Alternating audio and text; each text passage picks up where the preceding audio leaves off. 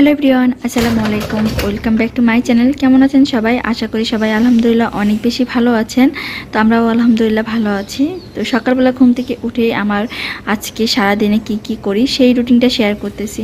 যদিও সারাদিনে কি করি সব কিছু তো আর শেয়ার করা যায় না। তো সকাল থেকে আজকের ব্লগটা শুরু করেছি। সকালবেলা ঘুম থেকে উঠে প্রথমে আমি একটু পানি গরম দিয়েছিলাম। তার মধ্যে জিরা দিয়ে দিয়েছি। জিরাটা ফুটে উঠলে বেশ কিছুক্ষণ জাল দেওয়ার পরে পানিটা যখন কমে আসবে তখন এটা নামিয়ে নেব। নেওয়ার পর যেটা করব এই পানিটার সাথে একটুখানি ঠান্ডা মানে নর্মাল পানিটা মিক্স করে দেব যাতে এটা কুসুম গরম হয়। তারপরে দেন এটার মধ্যে লেবু দিয়ে দিব। তো এক টেবিল চামচ পরিমাণ মতো আমি লেবু দিয়ে দিব। দেখেন লেবুটা দেওয়ার পরে পানিটার কালারটা চেঞ্জ হয়ে গেল। এই পানীয়টা খাইলে অনেকক্ষণ পর্যন্ত ক্ষুধা লাগে না? এরকম একটা ভাব মানে থাকে আর কি, খাওয়ার ইচ্ছাটা কমে যায়। তো এটার মধ্যে আমি এক এক চা চামচের মতো চিয়া সিড দিয়ে দিলাম। দিয়ে কিছুক্ষণ ভিজিয়ে রাখব। দেন তারপরে এটা আমি খেয়ে নিব। আর এখন মোবাইলটা একটু নিয়ে ফেসবুক দেখতেছিলাম। আর ফেসবুকটা এমনভাবে আমাদের আসক্তি করে রেখেছে যে মোবাইলটা হাতে নিলেই প্রথমেই একটু ফেসবুকের দিকে যায়। তো এক বছর আগে ছবিগুলো আসছে, দেখতেছি যে আমার বেলি ফুল গাছটা তখন কত সুন্দর ছিল। তো এবার ফুল তো ফুটে গেছে, এখন আর অত ফুল ফুটে না। মানে সিজনটা শেষ প্রায়। আর বৃষ্টি হইলে হয়তো বা ফুটতো, কিন্তু বৃষ্টিই হচ্ছে না। তো এখন এই পানীয়টা আমি খেয়ে নিব, খাওয়ার পরে হচ্ছে আমি সকালে নাস্তা রেডি করব। তো যেহেতু সকাল সাড়ে ছয়টা আজকে নাস্তা করতে একটু দেরি হবে, কারণ তোকির বাবা বাসায়, যেহেতু ছুটির দিন ছিল। তো প্রায় সাড়ে দশটার দিকে বা এরকম টাইমে নাস্তা করা হয়েছে। আমার একটু কাজ ছিল, এই জন্য আমি তাড়াতাড়ি উঠে গিয়েছি। দেখা যায় যে টাইমের ঠিক নাই, কতদিন ছুটির দিন অনেকক্ষণ পর্যন্ত ঘুমানো হয়, কত সময় আবার খুব তাড়াতাড়ি উঠি, ঘুমটা ভেঙে যায় আর কি। আর একবার ঘুম ভেঙে গেলে আর কিন্তু ঘুমটা আসতে চায় না। তো এই যে আমার বাবাটা মাসাল্লাহ ও একা একা খেতে পারে এখন।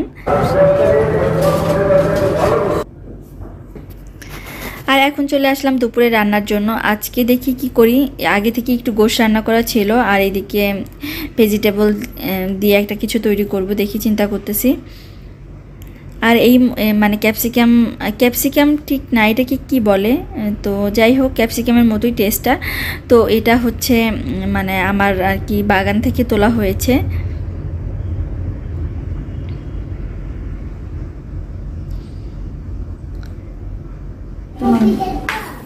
তো এখন সবজিগুলো কেটে নিচ্ছি, আর তারপরে হচ্ছে রান্নাটা বসিয়ে দিব। আর ইদানিং দেখি তোকে বাবার খুব কাঁকরোলটা পছন্দ সব কিছুর মধ্যেই কেন জানি না কাঁকরোল দিতে বলতেছে। তো আজকে এই তরকারির মধ্যে একটুখানি কাঁকরোল দিয়ে দিলাম। যদিও আমি একটু চাইছিলাম যে চাইনিজ ভেজিটেবল টাইপের কিছু একটা করব বাট তারপরে আবার চিন্তা করলাম থাক দিয়ে দিই। তো এটার মধ্যে আমি দুইটা ক রসুন আর কি কুচি করে নিলাম। নেওয়ার পরে এখন আমি রান্নাটা বসিয়ে দিব। তো ফ্রাই প্যানটা বসিয়ে দিয়েছি আর এটার মধ্যে আমি তেল দিয়ে দিব। তো যদিও এটাতে অল্প তেলেই হয়ে যায় এই কড়াইগুলোতে বাট আমি কেন জানি না বেশি তেল দিয়ে ফেলছি। তো প্রথমে যেটা করব সেটা হচ্ছে চিংড়ি মাছগুলো ফ্রাই করে নিব। আর চিংড়ি মাছগুলো আগে থেকে পরিষ্কার করে নিয়েছিলাম, এটার মধ্যে একটুখানি লবণ দিয়ে দিলাম। আর সামান্য পরিমাণে গোলমরিচ দিতে পারেন বাট আমি দিই নাই আর কি। তো রসুন আর হচ্ছে চিংড়ি মাছটা একসাথে একটু ভেজে নিচ্ছি।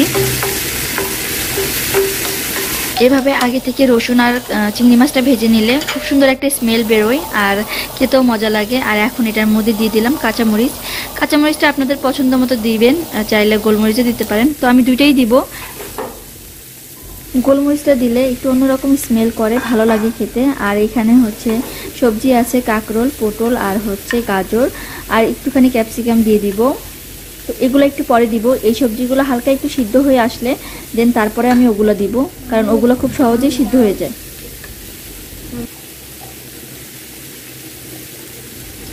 দিয়ে দিব পরিমাণ মতো লবণ। আর যেহেতু চিংড়ি মাছেও আমি লবণ দিয়েছি, তো ওই বুঝি আমার কিন্তু লবণ দিতে হবে।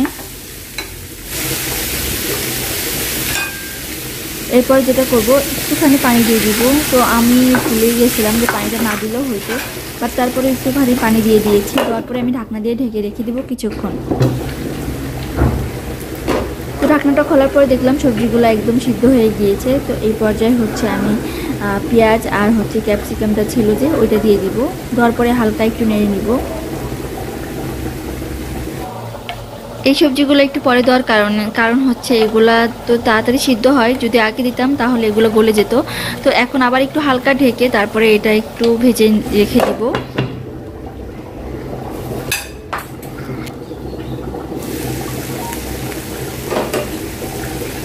তো যাই হোক, এই সবজিটা কিন্তু হয়ে গিয়েছে। তো হালকা একটু ভেজে এখন আমি এটা নামিয়ে নিব। আর এটা কিন্তু খেতে খুবই মজা গরম ভাতের সাথে, খুবই মজা লাগবে। চাইলে পোলাওয়ের সাথেও সার্ভ করতে পারেন।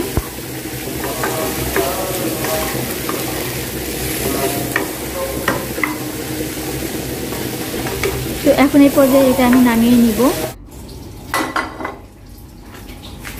দেন এখন আমি আবার চুলায় কড়াই বসিয়ে দিয়েছি। এটার মধ্যে এখন আমি কাঁকরোল ফ্রাই করব। আর কাঁকরোল ভাজির জন্য আমার এখানে আমি কাঁকরোল মানে মরিচের গুঁড়া, লবণ আর হলুদের গুঁড়া দিয়ে মাখিয়ে রাখছিলাম বেশ কিছুক্ষণ। তারপরে হচ্ছে এটা ফ্রাই করতেছি এখন। তো এভাবে কাঁকরোল ফ্রাই করলে অনেক বেশি মজা লাগে। আর বিশেষ করে তোকে বাবার খুব পছন্দ। এভাবে কাঁকরোলগুলো ভাজলে অনেক বেশি মজা লাগে। তো এখন কাঁকরোলগুলো আমি ঢেকে রেখে দিয়েছি কিছুক্ষণের জন্য। তারপরে এটা সিদ্ধ হয়ে আসলে ঢাকনাটা খুলে আবার আমি এটা উল্টিয়ে দিব।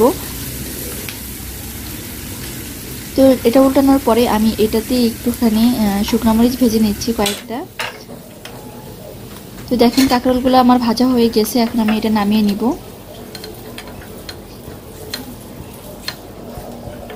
আর এই শুকনো মরিচগুলো যে ভেজে নিলাম, এগুলা দিয়ে আমি এখন করলা ভর্তা করব। আর এই শুকনো মরিচ এভাবে ভেজে যদি করলা ভর্তা করা হয়, তাহলে খুব মজা হয়। করলাগুলো আমি হালকা মানে সিদ্ধ করি নাই, জাস্ট খালি তাওতে রেখে দিয়েছিলাম, অল্প একটু পানি ছিটিয়ে, তারপরে এটা এভাবে হয়ে গেছে। একদম করলা যদি বেশি সিদ্ধ করি, তাহলে ওইটা তোকির বাবার অত বেশি পছন্দ না, এরকম একটু শক্ত শক্ত থাকবে, তাহলে ওইটা খেতে ভালো লাগে। তো শুকনো মরিচগুলো ভেঙে আমি হাত দিয়ে ডলে নিচ্ছি। আর উত্তরবঙ্গে কিন্তু বেশিরভাগ ভর্তায় হাতে মেখে তারপরে করে।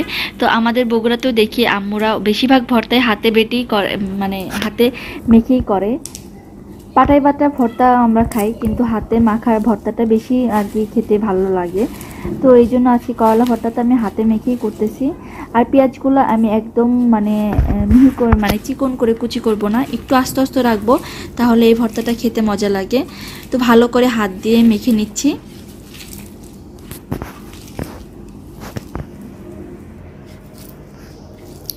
তো মেখে নেওয়ার পরে যেটা করব, এটার মধ্যে হচ্ছে এখন আমি সরিষার তেল দিয়ে দিব, আর একটুখানি লবণ দিয়ে দিব। আর করলা ভর্তায় এমনিতেও লবণ একটু বেশি লাগে। আমি কিন্তু সিদ্ধ করার সময় অল্প একটু লবণ দিয়েছিলাম, তারপরে এখন একটু দিয়ে দিচ্ছি, যাতে করে আর কি মানে ঠিক হয় লবণটা। তেল দিয়ে মাখার পরে দেখেন ভর্তাটা কি সুন্দর হয়েছে দেখি অনেক লোভনীয় লাগতেছে। আর এই সার্ভিং বোলটা কয়েকদিন আগেই কিনেছি ভাবলাম যে আজকে একটু ভর্তা রাখি। যেহেতু অনেকগুলো ভর্তা একসাথে রাখা যায় এটাতে তো আমি তো একটা ভর্তাই করেছি এই জন্য এগুলা রেখে দিয়েছি সাইডে। তো আজকে মেনু ছিল আমাদের এই আলহামদুলিল্লাহ। যদিও গরুর গোশ কেউ খাবে না এখন কারণ মানে খাইতে ইচ্ছা করে না এখন আর। আলহামদুলিল্লাহ সব কিছু মিলে এগুলাই আজকে আমাদের দুপুরের খাবার। তো এখন হচ্ছে আমরা খাওয়া দাওয়া করব। তো খাওয়া দাওয়া শেষ করার পরে বিকেলে একটু বেরো হব আমরা। চিন্তা করছি আজকে তো কিনে একটু ঘুরতে যাব। তো এইটাও যাচ্ছি এখন।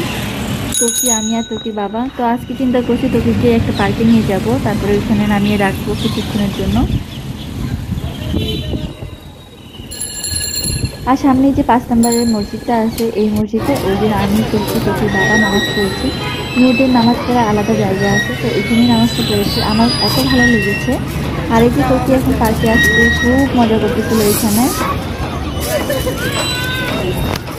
আর একসাথে অনেকগুলো বাচ্চা হলে দেখা যায় বাচ্চারা অনেক কিছু শিখতে পারে আর মানে মজাও করতে পারে।